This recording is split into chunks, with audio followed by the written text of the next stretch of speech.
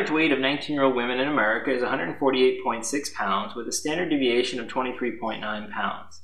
What is the minimum percentage of 19-year-old women who weigh between 96 and 201.2 pounds? What is the maximum percentage of women who weigh more than 201.2 pounds? So when I read this problem, the thing that um, jumps out at me first is this phrase, what is the minimum percentage? That's a phrase that's used in conjunction with Chebyshev's rule, because this formula or this rule gives you essentially the minimum percentage that will lie within an interval. And I see that they gave us two numbers here, and so those two numbers are probably an interval of the form that's given here. What we have to do is to check to see if that's in fact correct. So our first step is going to be, hey, let's find out if this interval is symmetric around the mean.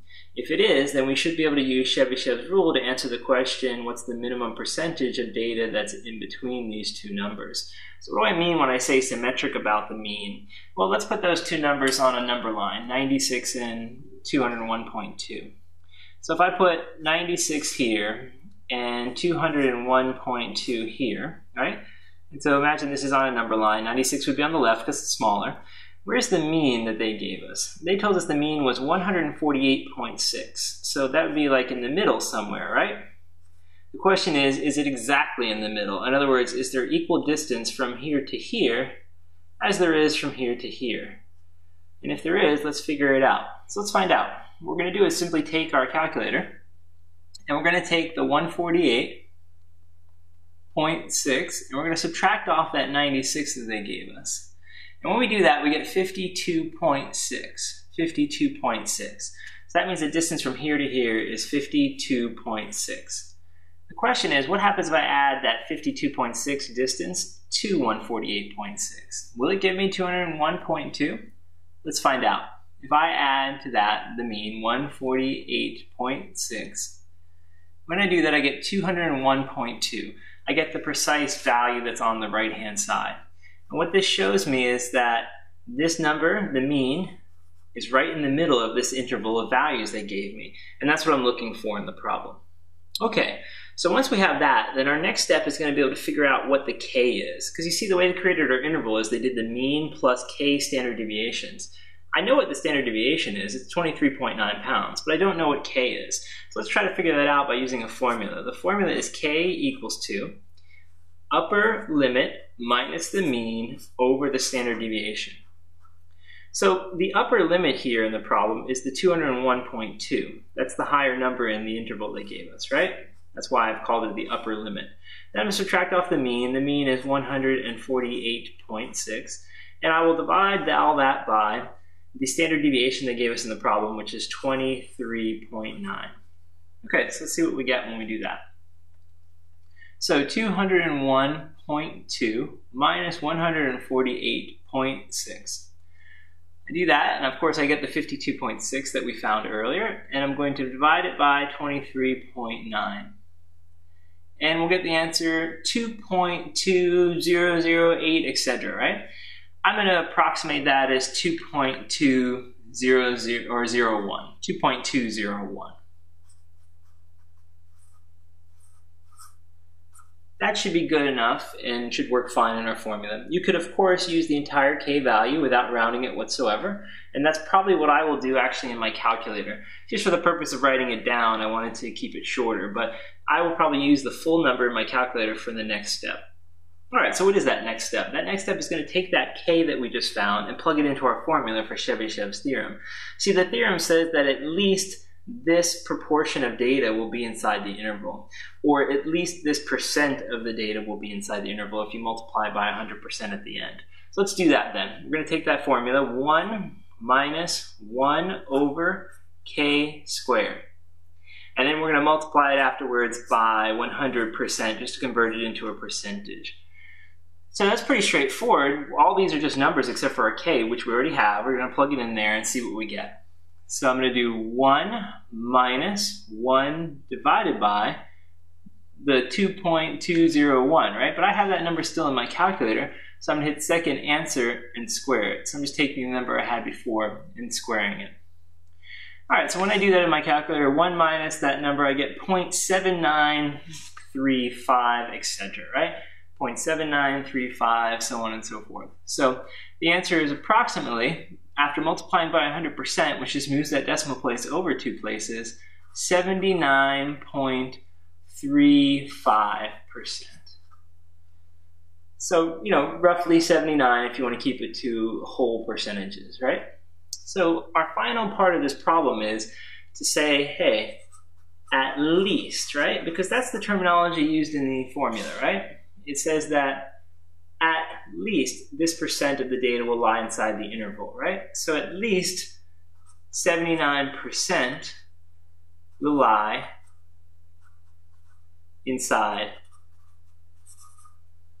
the interval.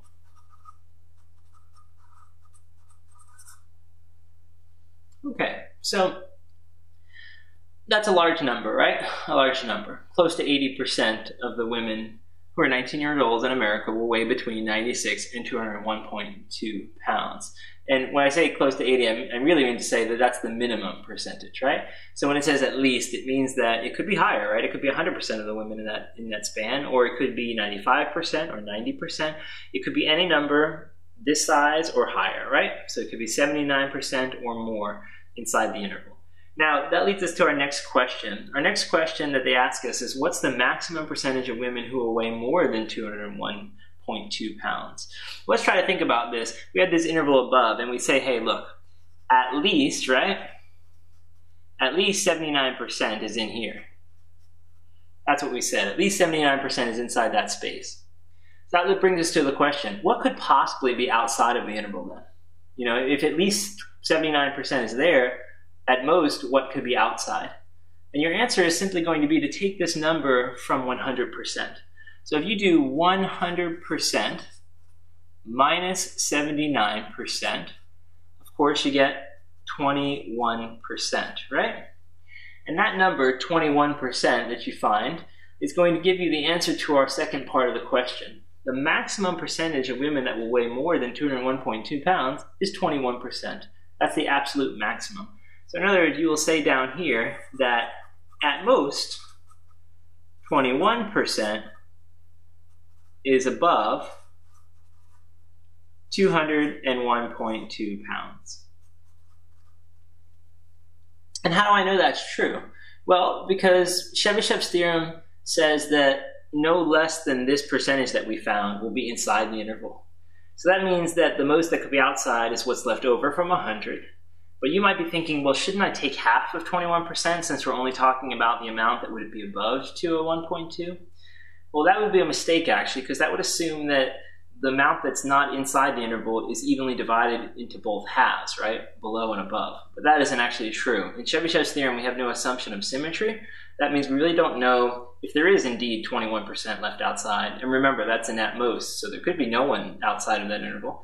There could be 10% outside the interval or whatever, right?